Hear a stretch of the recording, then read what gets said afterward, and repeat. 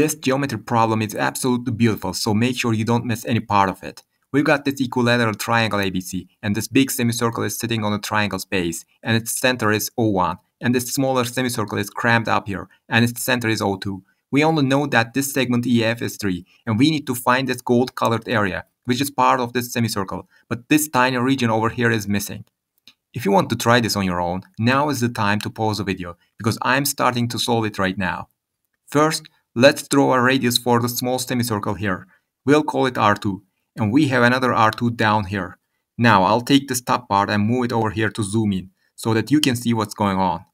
We want to find this length. We know this angle is 60 degrees, because it's on the vertex of this equilateral triangle. Now this side and this side are equal, so this triangle must be isosceles. And these two angles must be identical. And this angle must also be 60 degrees. These two angles add up to 120 degrees. So this third angle is also 60 degrees. And this triangle is an equilateral triangle, which means this side is also R2. Let's put R2 here. Now we can do the same thing for this semicircle too. We draw two radii here, and we call them R1. This angle is 60 degrees. These two sides are identical, so this angle must also be 60 degrees. Consequently, the third angle is 60 degrees too. This triangle is equilateral, so this segment is also R1, and this segment is R1 too, because it coincides with the radius of the big semicircle. Now, these are the sides of the equilateral triangle, so they are equal to each other. We can express that as AC equals CB. AC is basically R1 plus R2 plus 3. So let's change this AC to that.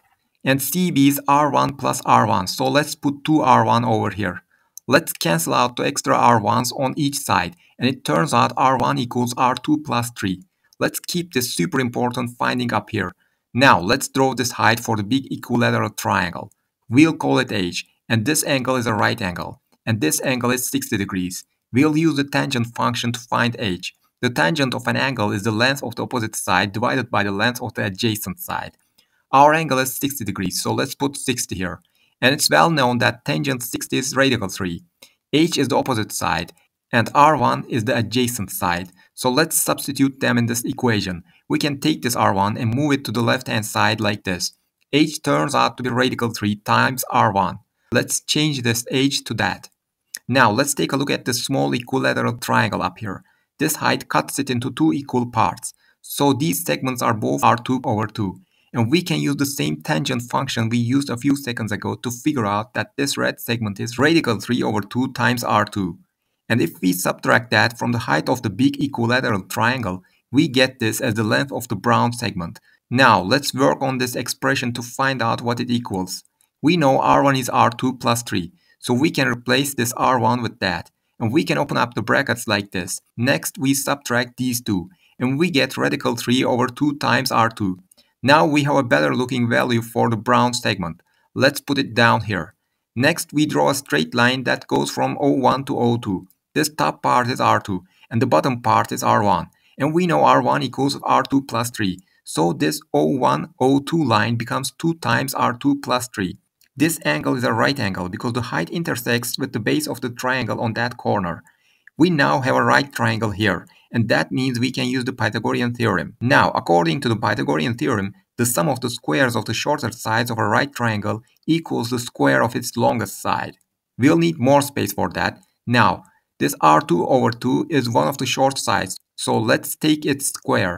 This is also one of the short sides, so let's take its square as well. And this one is the longest side. We'll take its square too.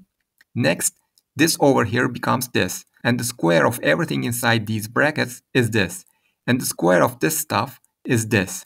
These two things over here add up to r2 squared, and now we can subtract this entire expression from both sides to clear up the equation.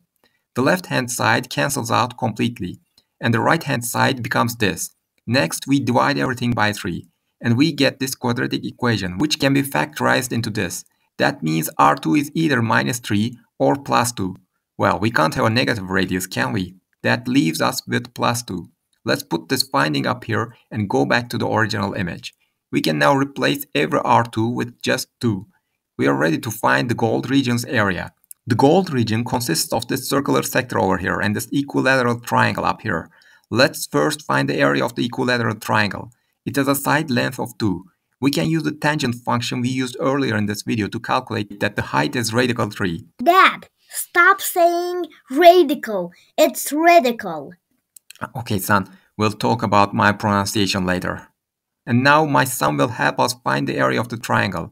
Go ahead, son. Hello everyone. The area of a triangle equals base times height divided by 2.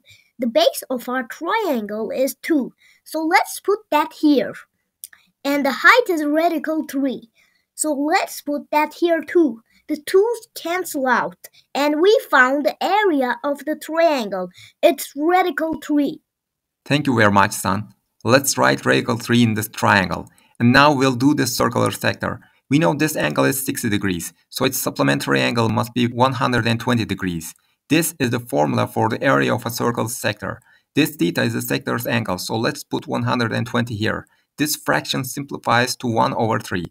r is 2, so this becomes 2 squared, which equals 4, and the area of the sector turns out to be 4 pi over 3. Now the last step. Let's put 4 pi over 3 here and then add up the areas of these two regions. And the area of the gold-colored region turns out to be 4 pi over 3 plus the square root of 3. There we are, people. Here is the gold-colored area we have been looking for. If you enjoyed this video, make sure you push the like button and don't forget to subscribe for future videos. Have a good day and see you soon.